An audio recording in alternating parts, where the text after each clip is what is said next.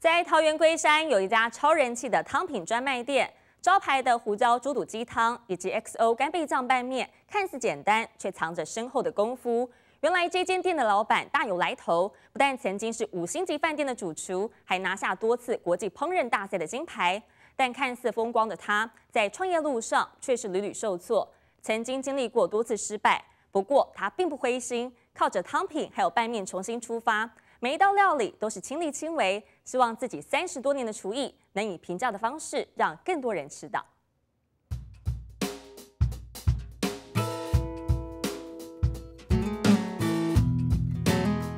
韩国人参鸡汤、川味牛肉汤、新加坡肉骨茶，各式各样养生美味的煲汤，在微凉的秋天喝下去，每一口暖心又暖胃。但其中最受欢迎的是这个，呀，猪肚鸡干贝，面要先拌开，不然会粘在一起。招牌的粤式胡椒猪肚鸡汤，搭配手撕 XO 干贝酱拌面，超人气的组合。还有三道功夫小菜，再来杯爽口解腻的酸梅汤，分量超级丰富。也让这家位在桃园龟山的汤品专卖店吸引了不少老主顾闻香而来。我喜欢这家店的胡椒猪肚鸡，就是第一个，它是它的汤头，就是喝起来非常的清爽，没有油腻感。然后它是真的有胡椒的淡淡的淡雅的那个香气，然后喝到嘴巴里面的时候，你会感觉到就是那个胡椒微微的辣度，然后就在你的口腔里面，然后非常舒服。肉啊，猪肚那些都是蛮 Q 弹的。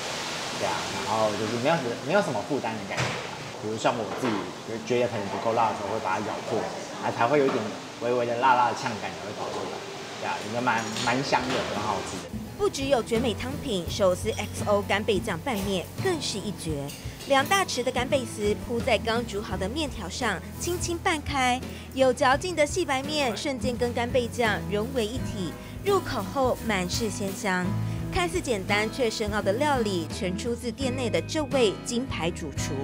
四十八岁的曾良全，厨龄已经超过三十年，曾在二零零八年第三届海峡两岸烹饪赛拿下金牌，二零零九年的第六届世界烹饪大赛也勇夺特金奖。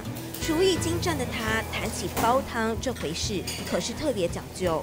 那我们这边都会自己洗完以后再去做剁的动作。那全部用的都是挑鸡腿，那一只鸡腿大概就是在六百多公克到七百左右。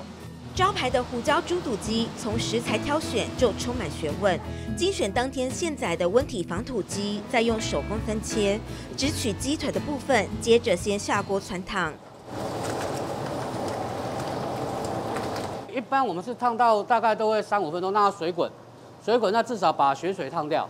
去掉血水和杂质，为了让卖相和口感更好，腿骨的最下端鸡骨轮的地方都会去掉，改用来熬制鸡高汤。鸡油的话要晚一点才捞，等到你鸡汤熬的差不多的时候，比如说我们熬一个鸡汤大概要四十五分钟左右，鸡骨头才会完全入味嘛，那时候才会来捞鸡油，这样子鸡汤香气会比较足啊。时间和火候的掌控是关键，也得滤掉多余的杂质。半个多小时以后，甘醇的鸡汤完成。这时候，为了让汤头更清爽，还有这道工序：鸡油这个时候就不留了，在熬汤的时候留着，然后当我汤熬完的时候，鸡油就不留，那你炖炖起来汤品里面才会清澈，不带油脂吧。而这还只是用来打底的鸡汤，要煲出精华，烫好的鸡腿和猪肚得分装在汤中里。再来就是这道汤的灵魂——黑白胡椒粒。用胡椒粒了，那有些胡椒猪肚鸡，你常见到可能用了胡椒粉，好，粉类比较多。好，那我们是黑白胡椒都会一起用。好，柬埔寨种植的过来的。对食材真的相当讲究，横扫国际各大赛事，也曾在五星级饭店担任主厨。虽然顶着金牌主厨的光环，但曾良全在创业的这条路上走得并不顺遂。卖过日本料理、台式羊肉炉以及西式简餐店，还曾在宜兰开过无菜单料理，但最终都以失败收场。那时候宜兰人家说最豪华的餐厅就是我那一间嘛，三百多平只摆了六桌嘛。那我以为说，哎，六桌怎么样都会客满吧？哎，还真的一桌都没有。我自己外务多，上节目啊，百货公司活动啊，锅具代言啊，哦，上课啊，哦，比如说我今天一个月礼拜有七天，那我大概七七天都会有活动。外务太多，一下写书，一下出席活动，让身兼多职的曾良全无法好好经营餐厅，一连创业四次都失败，还赔了上千万元。五年前，他痛定思痛，还清债务后，选择重新出发，改卖汤品和拌面，并转战冷冻料理包市场，把在宴席才能吃得到的功夫煲汤推出一人份，就连小菜也来自他精湛的厨艺。经典的干煸四季豆是他最拿手的川菜之一，猪肉末先下，再来虾米及冬菜下锅爆香，翻炒时也是功夫。对，酱油是炝锅用的，然后咸度是盐巴。那四季豆吃起来要咸中带甜嘛。少许的盐巴和醋，让炒出来的四季豆咸香够味。就连外场用的餐具，他也把五星级饭店的那一套搬来自家店里。这边在热碗嘛，所以这边碗是烫的，那就确保它出去的时候，它能在用餐的时候汤品是够热的。有了前几次失败的教训，第五次创业让曾良全这次开店特别谨慎小心，任何事情都亲力亲为，看在好友眼中，简直就是完美主义。他有时候半夜打给我，问我要不要上来吃东西，其实找我试菜。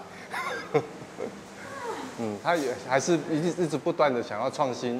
一些新的汤出来啊，比如说他当初他的汤，我们也是一试再试，试了二三十二三十遍，所以才试到觉得说他自己认为可以可以接受，可以接受的东西，他才会推出来。没有退路的他，只能背水一战，所幸皇天不负苦心人，终于渐渐做出成绩来。最大的愿望就是希望把自己的厨艺以平价料理让更多人吃到。一个努力，他不一定会有收到成果啦。对吧？但是你不努力是一定什么都没有嘛。啊，对，那我能做就是努力看看啦。他可能住高雄，那刚好他要出国是回国下飞机的时候直接绕过来的，那个心里就会有成就感。昔日的成败是经验，也是养分。曾良全虚心检讨，重新出发。